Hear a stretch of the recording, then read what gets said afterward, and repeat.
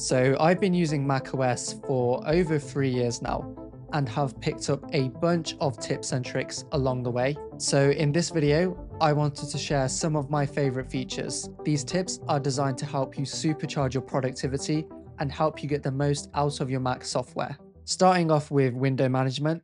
So recently Apple have introduced the ability to snap windows to the sides of the display in macOS Sequoia, but I find some of these snapping options to be a bit too limiting. So what I recommend instead is that you install a free app called Rectangle. You get a lot more flexibility when it comes to snapping windows. You can snap them into thirds and corners, and you even have a menu of keyboard shortcuts that you can use and customize. So let's say you're extending your Mac onto an external display. You can easily use Rectangle's keyboard shortcuts to quickly move windows between displays. Speaking of external displays, if you're extending your Mac to a monitor like an Apple Studio display or a Pro Display XDR, you can actually adjust the monitor's brightness by holding on control when pressing on the brightness keys.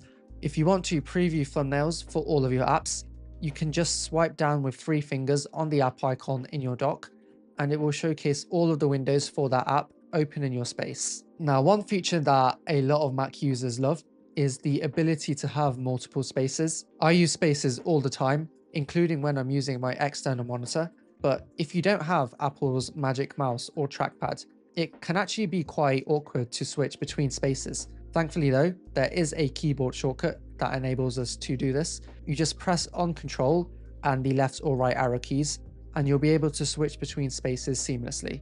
And you can also press control up to open up mission control. For our next tip, we're going to head into system settings, into desktop and dock, and we're going to minimize our windows using the scale effect instead of the genie effect. I find that the scale effect is just a lot faster and a lot smoother than the genie effect, and it makes the overall experience of minimizing and opening windows just a lot more pleasant. And if you keep finding these animations when hovering over apps across the dock annoying, you can disable them by right clicking on the dock and disabling magnification. You can also customize the size of the dock by dragging on this line on the right. Inside of the Finder app, one setting I always like to enable is the file pathway at the bottom of the window, similar to what you see on Windows by default, but for some reason it's not on by default on the Mac. But the way we can get this pathway on the Mac is by clicking on view at the top and enabling show path bar,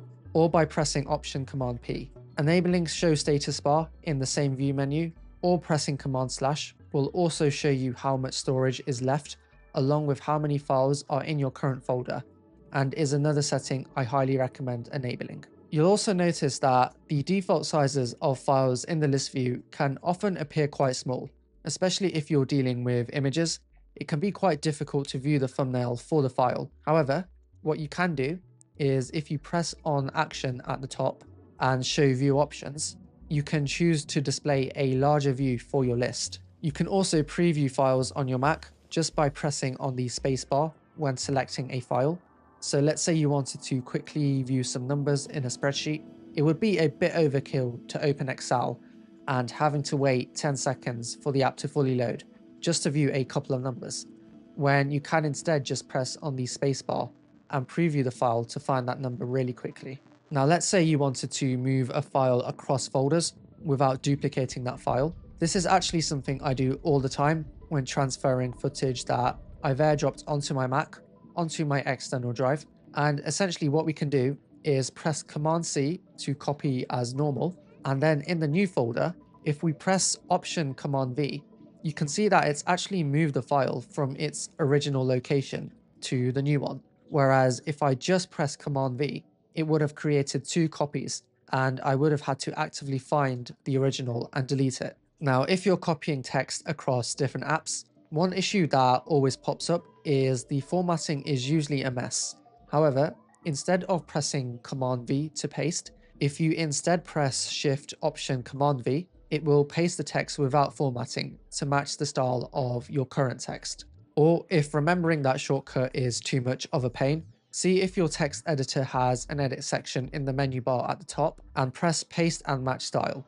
When it comes to taking screenshots using the Command Shift 5 shortcut, you can hold down on the control key whilst capturing to save the image directly to your Mac's clipboard. However, pressing Command Shift 4 instead will allow you to capture a specific area more easily. And we can take this a step further because if you hit the spacebar, the system will automatically snap to capture the window that you're currently on. Now, one of the biggest power user features that Mac users have is Spotlight Search. I think so many people neglect what you can do with Spotlight Search. I use it all of the time for when it comes to opening up apps on my Mac, running quick calculations like currency conversions, and even searching for content on the web.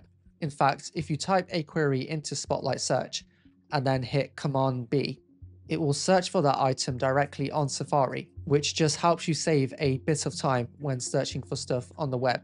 You can also filter for certain types of information using the kind colon command. So if you type in kind colon folder, Spotlight Search will only look for folders and filter out all other results.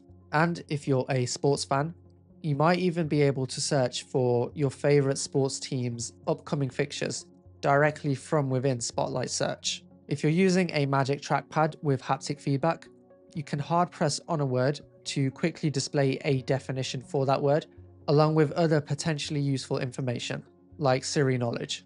Alternatively, if you don't have access to a Magic Trackpad, you can right click on the word and hit lookup to do the same thing. Now, one interesting trick that I discovered very recently was that you can actually insert images and files straight into apps just by dragging them into the app icon on the dock. And that will automatically open up a new file with that image in it. This next tip is for people who regularly sign documents on their Mac. You can insert digital signatures in the preview app by opening up the markup tool at the top and then clicking on the signature icon and then following the instructions on screen. Now, one thing that MacBooks are notorious for is having fairly bad webcams, especially if you're using an older MacBook. The quality you're going to get from the built-in camera just isn't going to be that great. But thankfully, there is a solution called Continuity Camera, which lets you use your iPhone as your webcam. And this feature works automatically. You just need to make sure that on your iPhone, inside of settings, general, AirPlay, and continuity, that you have the continuity camera feature toggled on. You can also make use of the desk view option, which will use the ultra wide camera of your iPhone to try and give you a vertical top down view of your desk. Super useful if you're delivering live presentations and want to demo something on your desk. So those are some of my favorite tips and tricks for macOS. If you're coming from a platform like Windows, you might also want to check out my other video covering four ways you can make macOS feel like Windows which you can find by clicking somewhere at the top here. Hopefully you guys enjoyed this video. Make sure to follow me on Instagram and Twitter and subscribe for the next one.